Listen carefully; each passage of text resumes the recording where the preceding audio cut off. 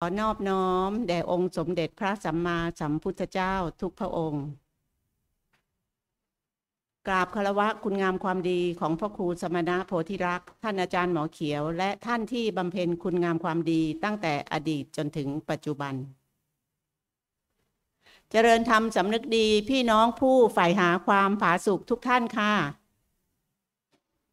ค่ะ วันนี้เราก็จะมาคุยกันถึงเม็ด เม็ดอะไรนะ เม็ดเสริมหนึ่งในห้าเม็ดนะคะ เม็ดเสริมอันนี้มีฤทธิ์แค่สิบเปอร์เซ็นต์นะคะ แต่เม็ดหลักคืออะไรคะ เม็ดหลักคืออะไรคะ อาหารและออกกำลังกายนะคะ และเม็ดเลิศล่ะคะธรรมะรู้เพียรรู้พักนะคะ เม็ดเลิศมีฤทธิ์กี่เปอร์เซ็นต์คะเจ็ดสิบเจ็ดสิบบวกเกินร้อยนะคะ คำว่าบวกเกินร้อยหมายความว่าถ้าเราทำเม็ดเลิศได้ดีเนี่ยผลของการทำเม็ดเสริมหรือเม็ดหลักเนี่ยมันจะทวีคูณขึ้นนะคะ แต่ถ้าเรามัวแต่ทำเม็ดเสริมนะคะ เราไม่ทำเม็ดเลิศเนี่ยเม็ดเสริมไม่ไปไม่มานะคะ แล้วท่านก็จะไม่หายโรคนะคะ เวลามีทุกข์ใจเนี่ยให้กลับมาเลยนะ เราทุกข์เพราะอะไร ล้างทุกข์ใจให้ได้ แล้วเราก็จะสุขภาพดีขึ้นอ้าวทีนี้เม็ดที่หนึ่งเนี่ยนะคะก็คือ การรับประทานสมุนไพรปรับสมดุลนะคะ สมุนไพรอันนี้นะคะก็คือมาจากพืชผักสมุนไพรสมัยก่อนเราเรียกว่าคลอโรฟิลล์นะคะ แต่คนเอาไปทำการค้านะคะ ไปทำคลอโรฟิลล์เม็ดทำคลอโรฟิลล์แห้ง แล้วก็มาขาย2,500นะคะ เคยเห็นคนซื้อนะคะ เวลาชงเนี่ยเขียวแป๊ดเลยค่ะ เขียวผิดปกตินะคะ แต่ว่าสมุนไพรสดเราเนี่ยซื้อย่านางมาหนึ่งกรัมเราก็ได้หลายขวดเลยนะคะทำกินเองประโยชน์สูงสุดกว่า ประโยชน์ของคลอโรฟิลล์สดในร่างกาย เดี๋ยวขอหนังสือคลอโรฟิลล์ด้วยนะคะประโยชน์ของคลอโรฟิลล์สดต่อร่างกายนะคะทำลายอนุมูลอิสระในเม็ดเลือด แก้โรคโลหิตจาง ลดความดันโลหิตสูงนะคะ ก็คือ คนที่เป็นความดันโลหิตสูงเนี่ยถ้าได้ทานเป็นประจำเนี่ยความดันก็จะลดลง เนื่องจากทำให้ร่างกายมันเย็นลง ความดันก็จะดีขึ้นนะคะมันจะลดลงเอง ระบบทางเดินอาหารคลอโรฟิลล์ล้างพิษโดยตรงในกระเพาะอาหารลำไส้เล็ก สมานแผลในกระเพาะกระตุ้นเนื้อเยื่อให้ฟื้นแผลเนี่ยเราจะใช้หยวกกล้วยนะคะหยวกกล้วยน้ำหยวกกล้วย พวกนี้จะช่วยเรื่องกระเพาะนะคะ ช่วยเติมช่วยเพิ่มประสิทธิภาพการนำพาออกซิเจนเข้าสู่เซลล์ เดี๋ยวเราไปดูโครงสร้างกันแล้วเราจะเห็นนะ โครงสร้างมันเหมือนเม็ดเลือดแดงนะคะ ช่วยกระจัดสารพิษในเลือดตับและไต ช่วยลดระดับน้ำตาลในเลือดค่ะขอบคุณเคยตอนสมัยทำงานอยู่นะคะมีคนไข้เป็นเบาหวานเป็นความดัน แนะนำให้ทานโคลฟิลสดเนี่ยแหละค่ะ เขาไม่ต้องทานยาได้เลยนะคะ อีกอย่างหนึ่งเกิดความเกิดจากความศรัทธาในตัวคนบอกด้วยนะคะและให้ไปเรียนรู้ศาสตร์หมอเขียวนะคะ ท่านก็เลิกทานยาได้อัตโนมัติเลยนะคะ นี่นะคะโครงสร้างของคลอโรฟิลล์และเม็ดเลือดแดง ของคลอโรฟิลล์เนี่ยนะคะ ตรงกลางเนี่ยตรงกลางจะเป็นแมกนีเซียมนะคะตรงนี้ ส่วนเม็ดเลือดแดงตรงกลางเป็นเหล็กค่ะ ferric นะคะ แต่โครงสร้างรอบๆเนี่ยคล้ายคลึงกัน เพราะฉะนั้นการที่เราทานคลอโรฟิลล์สดเนี่ยเข้าไปเนี่ยมันจะช่วยเสริมประสิทธิภาพของการสร้างเม็ดเลือดแดง คนที่โลหิตจาง คนที่กระดูกพรุนนะคะ ก็จะช่วยเสริมได้นะคะ มีบางท่านเนี่ยฮะเป็นโลหิตจางนะคะ ทานคลอโรฟิลล์สดเนี่ยนะคะย่านางเนี่ย หกเดือนไปตรวจเนี่ย ปรากฏว่าหายนะคะ กระดูกเพิ่มขึ้น เลือดโลหิตจางก็ดีขึ้นนะคะ อันนี้เรียกว่ามีชาวค่ายทำแล้วก็ได้ผลจริง แล้วก็อยู่ในงานวิจัยของอาจารย์หมอเขียวนะคะหนังสือที่วิทยานุพนธ์ของอาจารย์ปโทปเอกนะคะ ถ้าอยากทราบรายละเอียด ชอบเป็นคนอ่านหนังสือนะไปซื้อวิทยานุพนธ์ของอาจารย์ ในโลกนี้ไม่มีขายถูกเท่านี้อีกแล้วนะคะ อย่างปึ้งใหญ่นะคะเล่มไม่กี่ตังค์นะคะ ถ้าคนชอบอ่านทีนี้คุณค่าทางโภชนาการของใบย่านางหนึ่งร้อยกรัมเนี่ย มีแคลเซียมถึงร้อยห้าสิบห้ามิลลิกรัม มีเหล็ก8มิลลิกรัม เราจะพูดหลักใหญ่ ๆ นะคะ เพราะว่าในย่านางเนี่ย ถ้าเราทานน้ำย่านาง เราจะได้คลอโรฟิลล์สดนะคะ ก็คือตัวเองเนี่ยเคยเคยไปกิน เขาเรียกอะไรแคลเซียมเม็ด แล้วเขาก็เสริมวิตามินดีเข้าไปในนั้น กินจากอเมริกาเลยนะคะ จากนอกเลยอะฝากเพื่อนซื้อ กินไปกินมากระดูกมันงอกออกมาค่ะกระดูกงอกออกมาไปหาหมอหมอหมอทำไมกระดูกมันงอกหมอก็ได้แต่ดูแล้วเขาไม่ว่าอะไรนะคะ เราก็เลิกกินแคลเซียมเม็ดมันก็หายนะคะ คือพวกยาทุกชนิดเนี่ยมันเป็นสารเขาเรียกว่า inorganic นะคะ แต่ร่างกายเราเป็นออร์แกนิก เป็นสิ่งมีชีวิต พืชผักก็เป็นออร์แกนิกนะคะ เพราะฉะนั้นเนี่ยมันจะดูดซับแต่สิ่งที่มีชีวิตด้วยกัน อะไรที่เป็นเคมีร่างกายเราจะไม่รับ สิ่งที่เรากินเข้าไปเนี่ย มันก็จะขับทิ้ง มันไม่ได้ไปสร้างร่างกายเรานะคะโอเค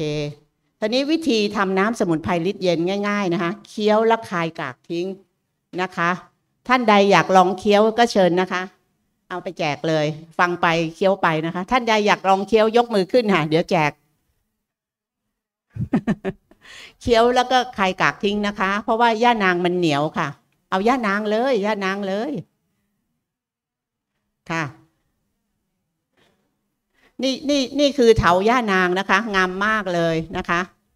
อ้าวใครอยากลองเคี้ยวนะฉีกเป็นชิ้นเล็ก ๆ ก่อนแล้วค่อยๆเคี้ยวนะคะ วิธีนี้สำหรับเวลาเราเดินทาง ถ้าเราไม่อยากเตรียมน้ำสมุนไพรเนี่ย เราก็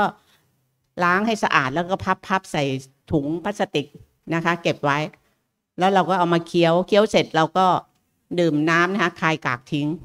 นะคะ วิธีนี้เป็นวิธีที่หนึ่งวิธีที่สองคือการคั้นหรือขยี้เอาเลยไหมเดี๋ยวเดี๋ยวเดี๋ยวก็แนะนำผักก่อนนะคะอ้าวทางนู้นยกมืออ้าว ทางนี้ค่ะยกมือค่ะ เออ เอาผักอื่นด้วย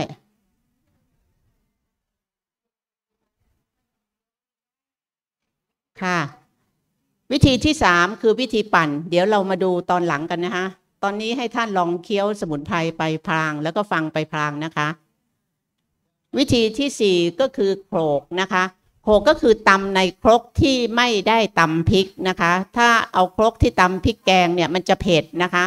เอาครกใบใหม่หรือไม่ก็เอาน้ำยาอะไรก็ได้ล้างจนกลิ่นมันหมด ท่านถึงจะเอามาตำได้ มันถึงจะเป็นคลอโรฟิลจริง ๆ เวลาตำอย่าใส่น้ำนะคะตำให้มันแหลก แล้วก็เอาน้ำใส่นะคะ ขยำขยำหน่อย แล้วก็กรองเอาแต่น้ำถ้ามันข้นให้ท่านผสมน้ำเปล่าดื่มนะคะ ให้มันจาง เราจะไม่ดื่มข้นๆนะคะ มันจะกระแทกภาวะที่ร่างกายเราร้อนเกินนะคะ เราจะทานจางๆ เหมือนที่เราผสมให้ท่านทาน ไหนในนี้ใครยังไม่ได้ทานน้ำคลอโรฟิลสดบ้างคะ ไม่มีเนาะ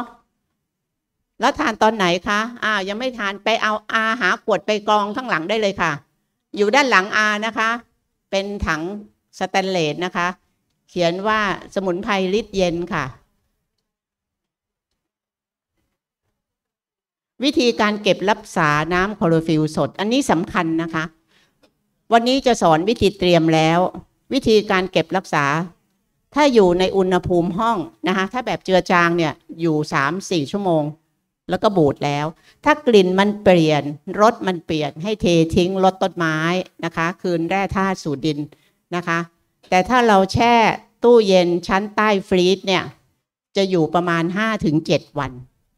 ชั้นใต้ freeze ก็คือชั้นที่เย็นรองจากชั้น freeze แต่ไม่แข็ง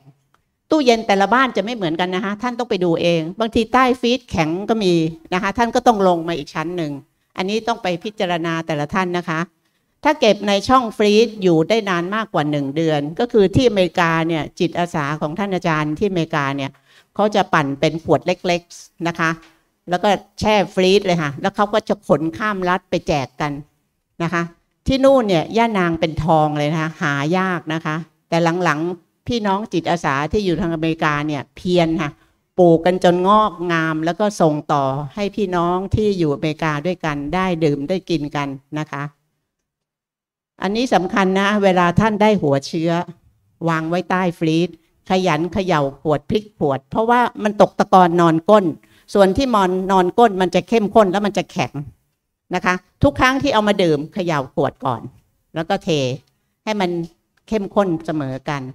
การรับประทานสมุนไพรปรับสมดุลเนี่ยดื่มเพื่อป้องกันและแก้ไขภาวะร้อนเย็นไม่สมดุลของร่างกาย ถ้าร้อนเกินก็ดื่มน้ำสมุนไพรลิตรเย็นที่เราสาธิตวันนี้นะคะ เย็นเกินเราก็ดื่มสมุนไพรลิตรร้อน พวกตะไคร้หัวเดียวขิงท่อนเดียวทุบแล้วก็เอาไปต้มหรือแช่น้ำร้อน ก็ดื่มได้ละ นะคะภาวะร้อนเย็นผสมกัน เราก็เอาคลอฟิลกดน้ำร้อนใส่นะคะถ้าดีถูกกันก็โอเค ถ้ายังไม่ดีนะคะ เราก็เอาน้ำตะไคร้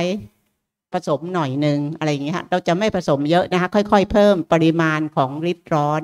ดูว่าถูกกันกับเราไหมนะคะถ้าเย็นอย่างเดียวดื่มอะไรคะ ดื่มสมุนไพรฤทธิ์ร้อนนะคะ ตอนนี้วิธีการดื่มน้ำสมุนไพรเนี่ยปริมาณและความเข้มข้นตามความต้องการของร่างกาย เวลาคุยกับหมอนะคะอยู่โรงพยาบาลไปแนะนำยาเก้าเม็ดสมุนไพรฤทธิ์เย็น คือปั่นให้เขาไปทานเนี่ยนะเขาก็ทานนะเพราะเขาท่านเป็นเบาหวานนะท่านก็จะชอบถาม เอาความเข้มข้นเท่าไหร่ฮะเอากี่ซีซีอะไรอย่างเงี้ยค่ะ คือคือแผนปัจจุบันเขาจะอย่างนี้ยค่ะ แต่ว่าแผนวิถีธรรมเนี่ย เอาตามที่ร่างกายสบายนะคะ เราจะไม่มีปริมาณแน่นอน เพราะว่าภาวะแต่ละท่านทั้งหมดเนี่ยในที่นี้ไม่เหมือนกันนะคะ ของตัวเองเนี่ยสมัยเจอท่านอาจารย์เนี่ยเชื่อไหมคะก็ทานน้ำยานางทุกวันเลยนะคะทานทานทานทานมาตลอดจนถึงช่วงหนึ่งเนี่ยช่วงนี้ช่วงหลังเจ็ดปีผ่านไปเนี่ยทานได้ขวดขวดห้าร้อยซีซีก่อนอาหารพอแล้ว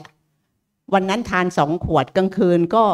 ปัสสาวะทั้งคืนเลยมันเย็นเกินอย่างเงี้ยค่ะคือเราต้องดูตัวเราเองเป็นหลักนะคะ ว่าเราทานแล้วเป็นอย่างไรนะคะดื่มครั้งละประมาณครึ่งถึงหนึ่งแก้ว ไม่ใช่ดื่มทีหมดขวดอย่างนี้นะคะ ดื่มแล้วก็หยุดแล้วก็ทำนู่นทำนี่ไม่ต้องสีเรียบว่าตั้งหน้าตั้งตาจะดื่มให้มันหมดไม่ใช่นะคะ ดื่มแล้วก็ทำงานอื่นนะคะ ค่อย ๆ ดื่มไปเรื่อยๆ วันละสองถึงสามครั้งก่อนอาหารและตอนท้องว่างนะคะ คือ ถ้าเราคิดอะไรไม่ออกก่อนกินข้าว ดื่มคอร์ฟิลก่อนนะคะ คิดเลยไม่ออกเอาง่าย ๆ คือดื่มก่อนอาหารไว้ครึ่งชั่วโมง แล้วก็ทานอาหารเนี่ย เพราะอะไรร่างกายเราเหมือนเครื่องจักรมันจะร้อน เมื่อเราทานอาหารมันจะย่อยสันดาบแล้วมันจะร้อน การดื่มน้ำคอร์ฟิลสดเนี่ยมันจะทำให้ร่างกายเราเย็น เครื่องเย็นทำงานดีไหมคะในเมื่อเครื่องมันเย็นมันทำงานดี เราก็ไม่ป่วยง่ายนะคะ แล้วมันก็ย่อยเก่งนะคะ ย่อยได้ดี แล้วเวลาผสมเนี่ยเวลาดื่มก็ผสมแทนน้ำเปล่านะคะเราไม่ทานข้นๆนะคะมีหลายท่านมาเข้าค่ายเราบอกว่าเนี่ยขยี้เอ่ยปั่นเอ่ยกินทั้งอย่างนั้นเลย เดี๋ยวท่านจะดูนะคะเวลาเราปั่นมันจะเข้มข้นมาก เราดื่มอย่างนั้นไม่ได้ เพราะว่าไตเราจะทำงานหนัก แล้วมันจะกระแทกกับภาวะที่เราร้อนเกินนะคะเรากินเข้มๆมันจะเย็นเกินแล้วมันจะทำให้เราไม่สบาย นะคะ ทานจางๆ อาจารย์บอกว่าให้ปรับสมดุลอย่างนุ่มนวลชวนฝันคลอโรฟิลล์เนี่ยคลอโรฟิลล์สดเนี่ยปรับสมดุลอย่างนุ่มนวลชวนฝัน แต่น้ำสกัดย่านางมีหลายท่านชอบดื่ม แต่น้ำสกัดเพราะขี้เกียจทำน้ำสกัดเนี่ยมันเหมาะสำหรับการแก้โดยเฉียบพลันนะคะ เช่นคอเจ็บเนี่ยมีคนไข้มาเล่าให้ฟังเนี่ยผมดื่มต้องนานแล้วเนี่ยน้ำสกัดเนี่ยแก้เจ็บคอดี ผมดื่มแล้วก็หายเลย นะคะคือแต่ละท่านเนี่ยจะมีประสบการณ์ไม่เหมือนกันเขาก็มาเล่าให้ฟังเราตอนนั้นเรายังไม่ค่อยใช้น้ำน้ำไอ้สมุนไพรน้ำน้ำสกัดย่านางเลย คนไข้มาเล่าให้ฟังบอกว่าเนี่ยผมกินแก้คอเจ็บนะคะ ผสมน้ำมะพร้าว น้ำตาล น้ำมะนาว น้ำมะขามได้เล็กน้อย ดื่มโดยผ่านไฟ เช่น กดน้ำร้อนใส่ เราจะไม่เอาสมุนไพรลิตรเย็นไปต้มนะคะ เราไม่ค่อยได้ใช้นะคะ แต่ท่านต้องดูว่าท่านไม่ถูกกันแล้วท่านจะแก้ไง ถ้ากดน้ำร้อนใส่ยังไม่โอเค ลองผ่านไฟนิดนึง ค่อยๆนะคะไม่ใช่ไปต้มเดือดพร่านพร่านแล้วก็มากินนะคือให้ร้อนๆอุ่นๆ หรืออะไรอย่างเงี้ยค่ะให้ท่านปรับเองนะคะอ่าคนนี้มาดูตัวอย่างเลยนะคะ สมุนไพรเดี๋ยวเวลาเหลือน้อยนะคะ เอาดาวดอยเลยค่ะ ดาวดอยอ้าวเดี๋ยวเดี๋ยวยกขึ้นโชว์เลยอ้าวดาวดอยนะคะ ดาวดอยนี่มีฤทธิ์ร้อนเย็นผสมกันนะคะ เหมาะสำหรับภาวะที่เราทานแล้วเราสบายนะคะ ไม่ต้องทานเยอะนะคะ ดาวดอยเนี่ยเราปั่นในน้ำสมุนไพรฤทธิ์เย็นได้ค่ะ แล้วก็ย่านางค่ะ พระเอกของเรานะคะก็คือย่านางมันจะเป็นพืชเถา มันชอบพันต้นไม้เป็นๆนะคะ ถ้ามีต้นไม้ยิ่งใหญ่ มันจะยิ่งงามค่ะนะคะ วิธีปลูกนะคะ แรก ๆ ไม่ไปไม่มาให้ตัดกิ่งนะคะ เอาน้ำปัสสาวะผสมน้ำเปล่าลดมันเรื่อยๆนะคะ ตัดกิ่งมันการตัดกิ่งมันจะกลัวตายค่ะ แล้วมันจะแตกยอดอ่อนขึ้นมา ตัวเองเคยปลูกมาปีหนึ่งแล้วไม่ไปไม่มามาเรียนถามอาจารย์ อาจารย์บอกเอาน้ำปัสสาวะลดนะคะ มันเลยคราวนี้แทงยอดอ่อนขึ้นมาเลยค่ะคนนี้เลยเต็มบ้านเลยค่ะ ต้องคอยกำจัดมันทิ้งแล้วมันเยอะมากนะคะอ้าวอมแซบค่ะอมแซบมีอมแซบบ้านนะคะ อมแซบบ้านเนี่ย ใบมันจะบางกว่านะคะ เออกำนั้นแหละค่ะ อันนี้ออมแซบบ้านนะคะ ใบจะเหมือนใบพูนะคะ ใบใบโพ แต่ออมแซบป่าใบมันจะมันจะไม่เหมือนกันนะคะ และเส้นมันจะเยอะกว่านะคะ มันจะหนากว่านะคะ ซึ่งดั้งเดิมเนี่ยเราใช้แต่ออมแซบบ้าน แต่ปรากฏว่ามีชาวค่ายมาเล่าให้ฟังว่า ท่านใช้ออมแซบป่า และท่านก็หายโรคได้ นะคะ พวกเราก็เลยทานตามท่านเนี่ยก็เลยมาลองดูว่าเรามาปรับเรามาใช้ได้ไหมก็ใช้ได้เหมือนกันค่ะ อันนี้นะคะ เนี่ยวิธีสังเกตก็คือออมแซบป่าเนี่ย ตัวก้านมันจะเหลี่ยมๆออมแซบบ้านมันจะกลมนะคะ แล้วใบมันจะลีลีนะคะออมอมแซบบ้านเนี่ยใบมันจะเหมือนใบโพนิดนึงค่ะอ้าวต่อไปก็คือเสลดพังพรตัวเมียนะคะ เสลดพังพรตัวมีตัวเมียนี่ก็ปลูกง่ายนะคะ ผักที่มีก้านทุกชนิดนะคะ เวลาท่านปลูกเนี่ย ท่านเอาข้อข้อหนึ่งให้จมดิน ข้อนั้นจะแตกเป็นราก ข้อต่อไปจะเป็นยอดอ่อนนะคะ เราเด็ดใบใหญ่ออกก่อน แล้วเอาข้อหนึ่งจมดิน เมื่อก่อนปลูกออมแซบทำไมมันตายสงสัยก้านมันยาวไงฮะแล้วไม่มีข้อลงดินมันตายหมด เราก็เอ๊ะทำไมปลูกแล้วมันตาย เพราะว่าเราไม่ได้เอาข้อลงดินนะคะ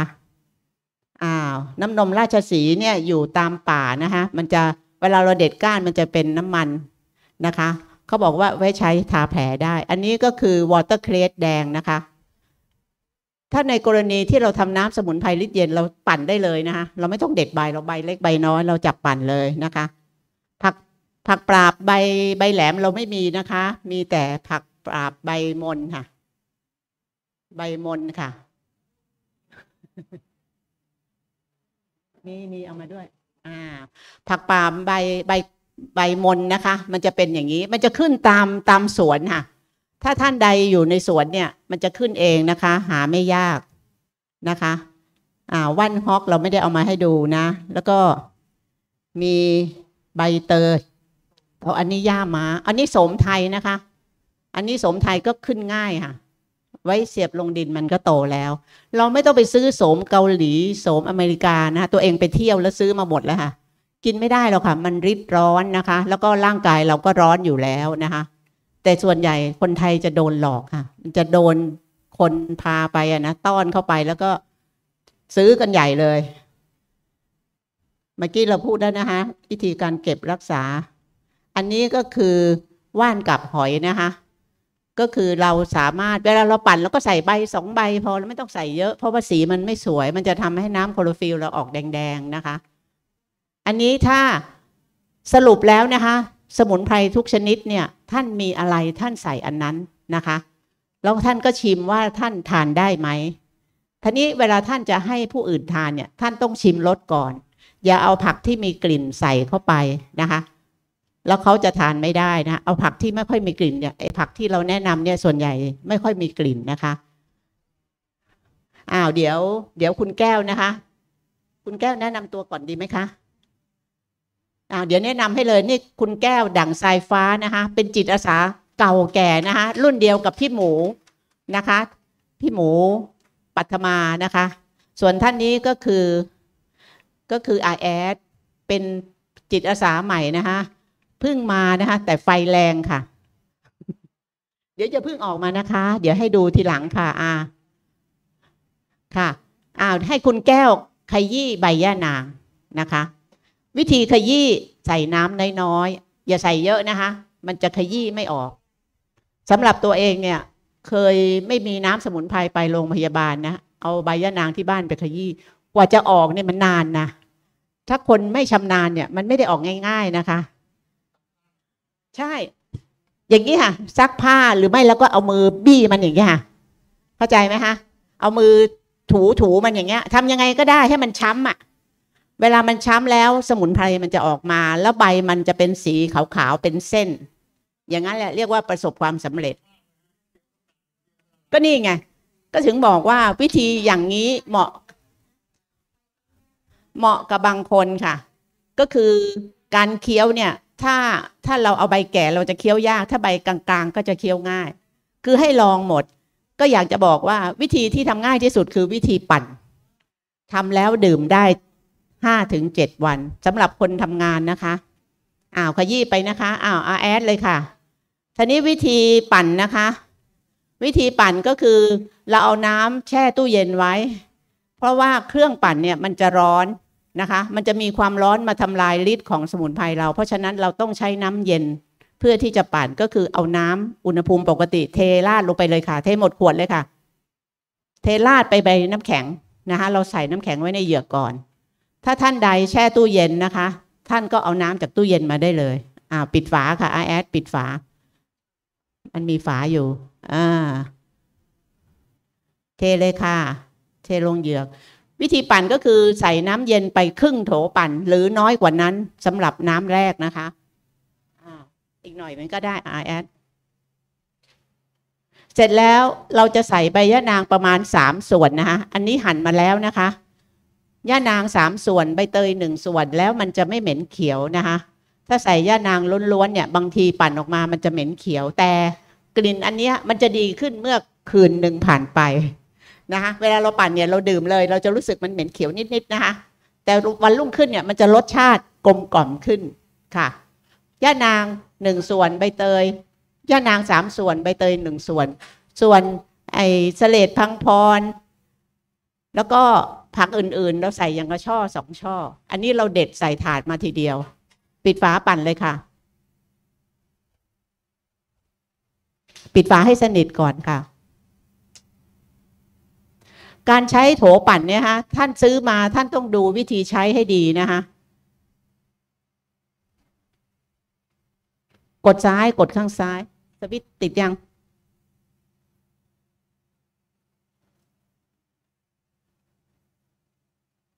ค่ะคือโถปั่นอันนี้มีความเร็วสองข้างนะคะ ข้างขวาเนี่ยเอาไว้คลุกก็คือมันจะตีขึ้นตีลง ข้างซ้ายมันจะหมุนอย่างนี้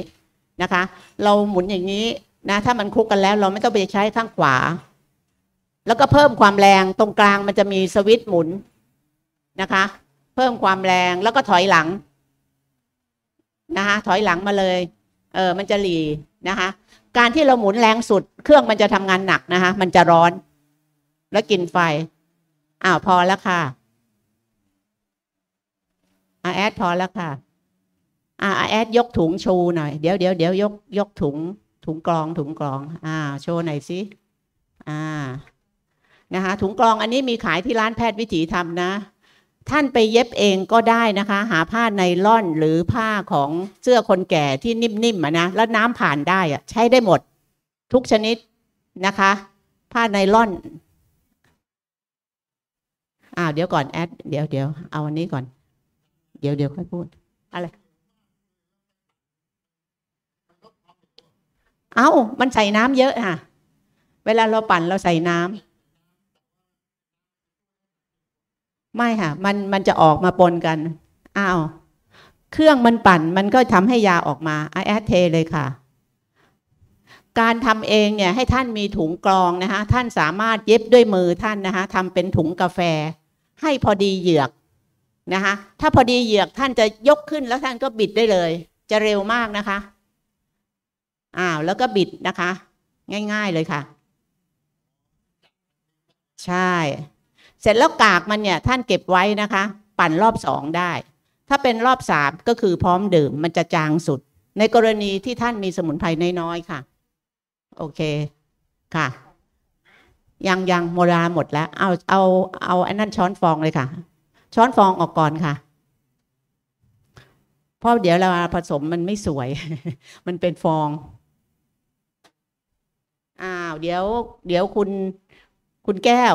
ขยี้ออกมาแล้วนะคะ คุณแก้วก็เทเทกรองลงไปเลย รวมด้วยกันเลยค่ะอ่าเราก็กรองเหมือนกันนะคะเวลาเราขยี้เราก็ต้องกรองเหมือนกัน